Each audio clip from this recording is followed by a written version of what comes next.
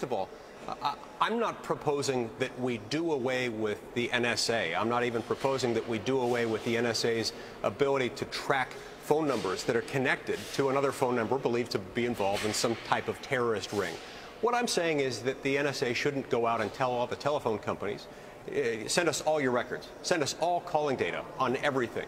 This kind of bulk collection is eerily similar to the type of abuse that we fought against Uh, at the time of the American Revolution. And